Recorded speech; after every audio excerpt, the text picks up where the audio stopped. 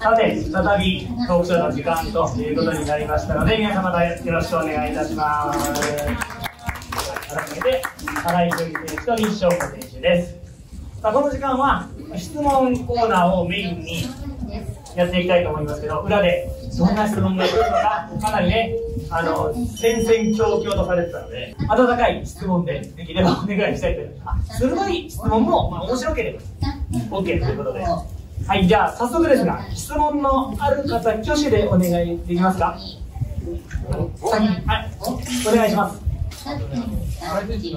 左の6番指輪は、すごい。いきなり踏み込んだ質問でした。だいぶ鋭い。な。これお答えいただいて大丈夫で。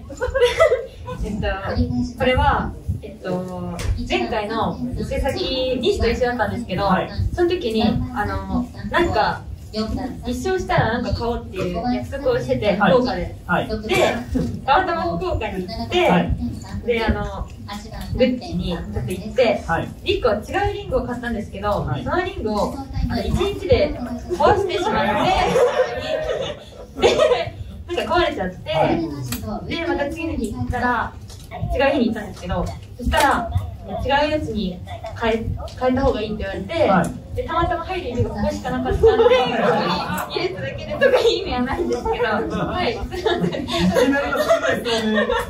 あの、クラッシャーエピソードが生まれるのでね。解決できましたかはい。はい。続きまして、どんな質問でも構い。ません。あ、さっきね、あげてらっしゃって、お願い。します。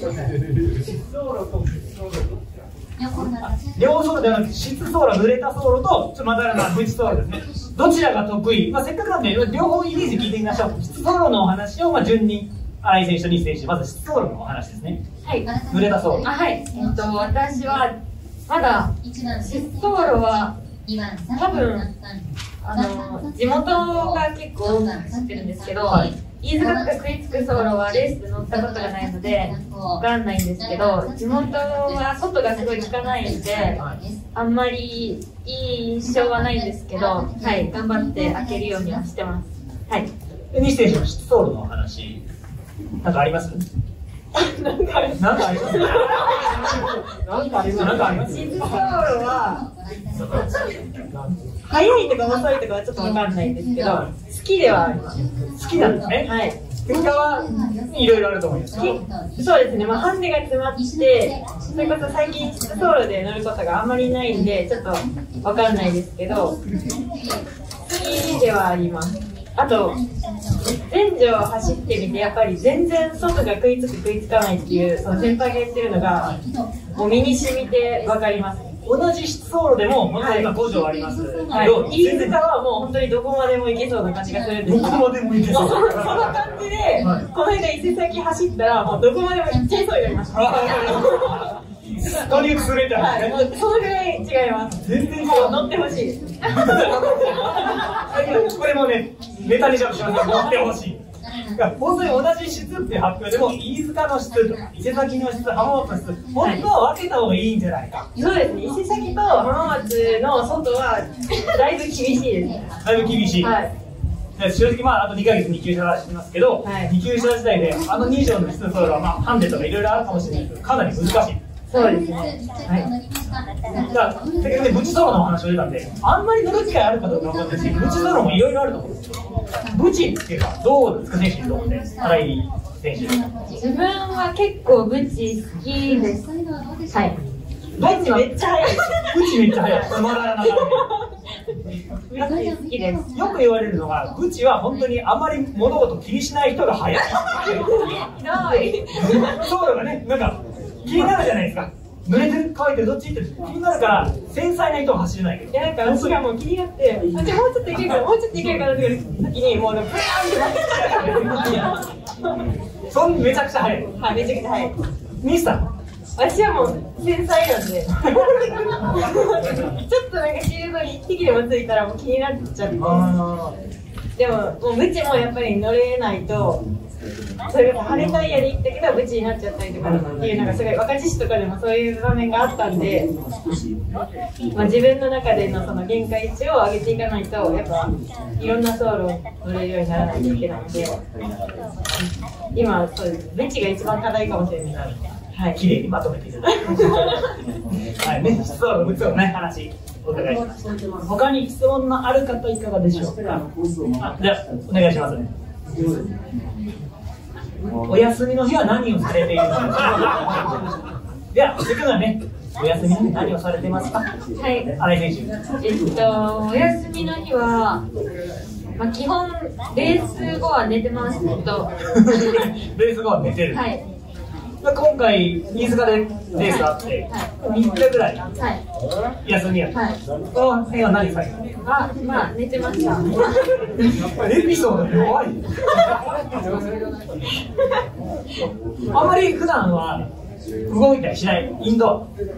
まあ、でもなんか、高校生ぐらいの時はもうほほぼ家に、まあそうです、友達さん遊んだりが多かったんですけど、この仕事をしてからは結構家にいます。そうなんですね。はいじゃあ西選手は私はもう正反対で、家にいることがないです。家にいない。家出少女。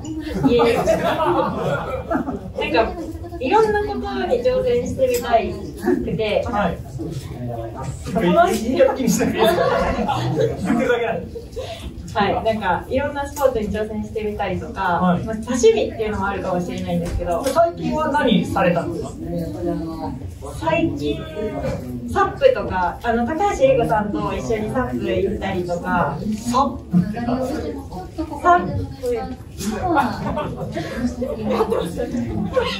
あの、サーフィン、サーフィンは波があるところであるんですけど、まあ、サップはそうですね、湖とか、波のない。地上で。あ、そうですね。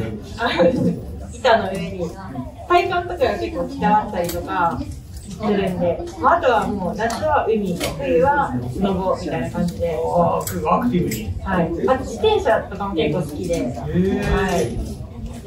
本当に正反対ですね。ショートスリーパーなんで、まず寝て過ごすとかもう羨ましい。ショートスリーパーはショートスリーパーで羨ましいと思ってる方がいると思うんですけど。いやもう寝寝たいです。寝たいはい。全然真逆で。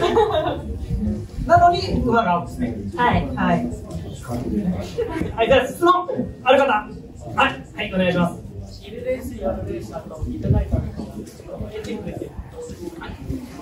デーレースとナイターレース、まだミットは走ってない。そうです。はい今。一級者になってからはいなので、まあ、せっかくなんで、昼間、で今回の選手権なんかナイターね、初めて行われますから、そういった違いなんかあれば。はい。えっと、自分の地元はナイターが多いので、はい自分は、はい、ナイターの方が、なんか、いいんですけど、ナイターの方がやっぱ気温が低いので、はい食いつきやすくて、自分的には走りやすいです。ナイターでもはい。出番が早い時があるじゃないですか。あれだと、やっぱりイメージ全然違います。あそうですね、はい。エンジンとかも全然変わってくるんで、セッティング合わせるのが難しいです。二選手はどうですか？二選手地元はね、デー開催のみなそうですね。アーリー、アーリーレースっていう早いレースと普通開催がメインでずっとデビューしてから走ってたんで、たまに伊勢崎とかに行くとなんか持て余しちゃう。エンジンじゃなくて時間の話。時間の話そうです。あ、エンジンはやっぱ難しいです。ずっと昼でしか走ってなかったりするんで、いまだに伊勢崎はなんかベストが見つからない感じです。ナイターはちょっとまだ苦労してると。はい。でも、宿舎とかその過ごし方の時間的にはナイターは私は合ってるかなと思います。最初は、最初はちょっとそれを、それも探ってた。ナイターの時間。ナイター持て余して。でも要はね、生活リズムもまるで違うわけですよね。そうですね。多分、よく寝る子には、ナイターはちょっとしんどいかなと思います。よく寝る子にはないかし ら。ショートスリーパー向きかもしれないです。じゃあ、店先行った時は眠そうだなそうです。まあでもちゃんと仕事の時はもうちゃんと眠そうな顔とかしないんで、あれですけど、多分眠いんだろうな。なので、全開催、成田開催。車としても違うし、生活リズムとしても全然違うということはい。次の質問ある方いらっしゃいますか？ちょっと書いてるけど、ライターって、あのー、光があるじゃないですか、ライトが。聞いてあるって聞いたんですけど、ナイター照明ですね。は自分は、えっと、シールド、あの、い。はい。シールド。はい。あれ、あれなんですよ。ダブル、レンズなんで、ダブルレンズなんで、あれ私が、ダブルレンズなんで、あんま気にならないです。光押さえてはい、押さえてます。メッセージは工夫されてるんですか？いや、もう私は普通のマクロのレンズだけなんですけど、ダブルとかじゃなくて、もうそんな気にしてる暇もないぐらい技師なんで、気にならない。です。照明がどうですねもう正面とかも、そんなもう、必死自分の。は技師なんで、はい。い、質問のある方。はい、どうぞお願い。します。この前浜松で同期の佐藤蓮選手が思想タイム3.29のすごいタイムが出て出てましたもう2級者なのってびっくりしちゃったんですけどやっぱり2級者でそういうタイムって出るもんなのかあえて自分があの整備を人的にしたら出ると思いますかっていうことで1問目。思想2級は出るのか否か。あの、う2級出て、はい。すぐに私がスクリーンショットして送って、はえ、レイ君って1級者だったっけ？はい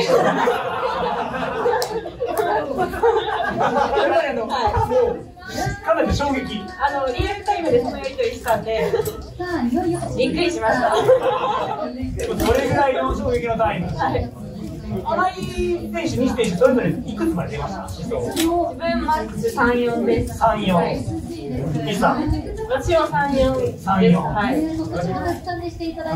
競争単位。終わりは四二九です。4、2、9。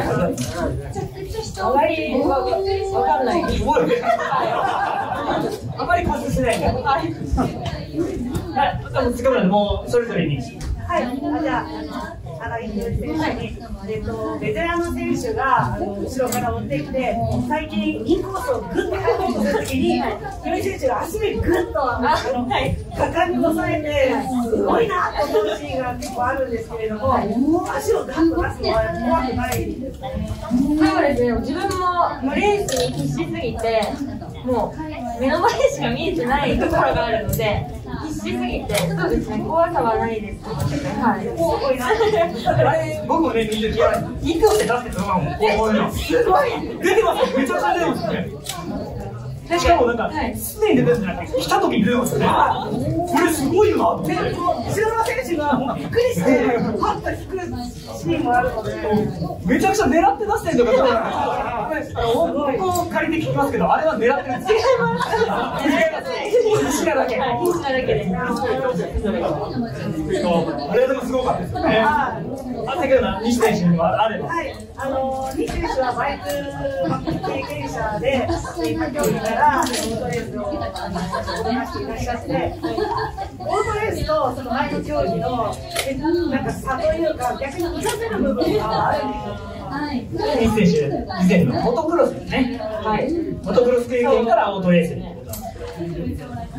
なんかすごい経験者だからねみたいな感じで言われるんですけど本当に私がやってたモトクロスはあのオンロードじゃなくてオフロードなんでやっぱり土の上で、まあ、石ころとか転がってたりとかするんで本当に畑違いっていうんですかね全然違くて。全然違う。最初はすごいそれでもなんか悩むというか一括りに経験者って言われてなんかできないの？みたいな感じで結構言われたりもするんですけどでもやっぱりバイクに乗ってたっていうのはみんなよりも、先に経験値もあるんで扱いの部分ではやっぱり得な部分はあるのかなって思うんですけど私が、まあ、自分が経験してたから余計に多分思うんですけどあんまりそんな他の人と差がないというかオートは本当に別の乗り物も乗ってくださいって感じです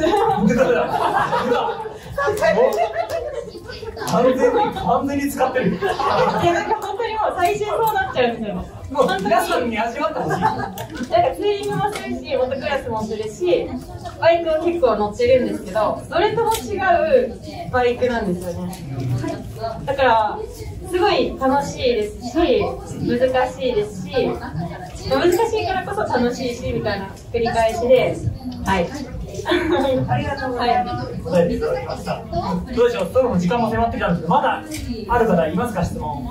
あ、せっかくなんで。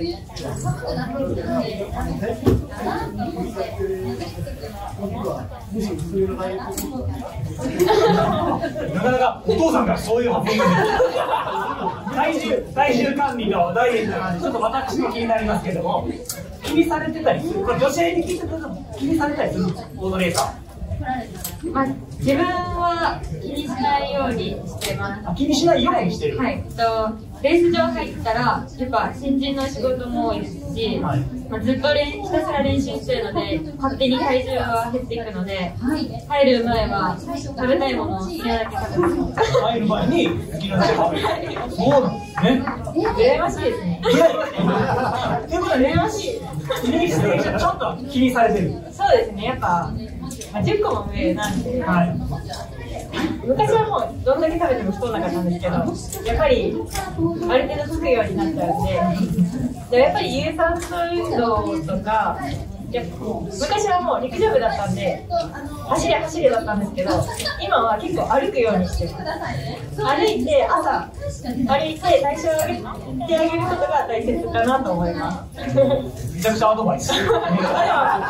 自分もなんかいろいろやってみての繰り返しなんででもやっぱり体力も必要なんで一概に痩せるだけじゃなかなか厳しいんで、はい、大丈夫ですか？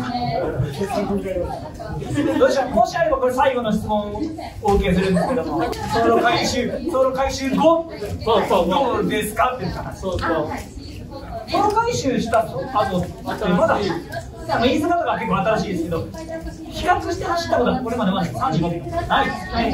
そうですね。でも少しの間ショーマフラーだと聞いたので、はい。なんか走路的なことよりも私はそっちの方が大丈夫大丈夫なのかなというか、まあ、セッティングとかもやっぱり全然違うと思うんでそっちの方が気になります。新井選手は？そうですね。飯塚新走路なんですけどなんかすごいちょっと自分はなんか乗りにくいイメージがあって飯塚行くと。なのでちょっと川口の新走路だったら不安だなって思う面はあります。あそうなんですね、ちなみに伊勢崎ソロ回収の話があるじゃないはい、はい。その先ももう不安なんですそうです。ね。不安が長く続く。はい、長く続きます。でも大丈夫です。不安でも、もうなんか気づいたら痛くなってるんで。なんかどうしようとか言って行くくせに、もうノリノリ早いやんみたいな。大丈やっぱもう強強いなと思いましたい、そ本当に精神的にやるときやるんだなみたいな。すごいな。で、そんな感じで、ね、結果を出していらっしゃいますけども。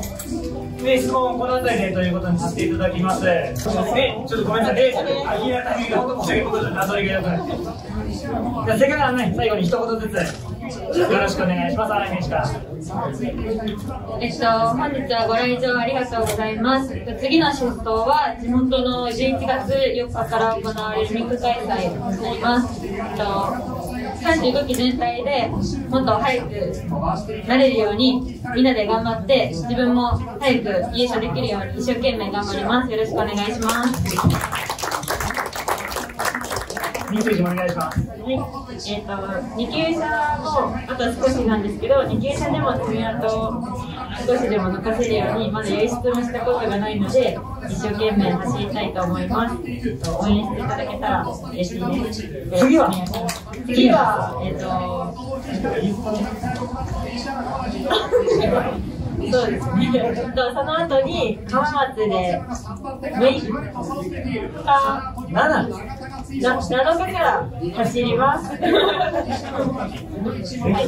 はい。ということで、新井選手は見て、大きな拍手をお願いします。ありがとうございました。ありがとうございました。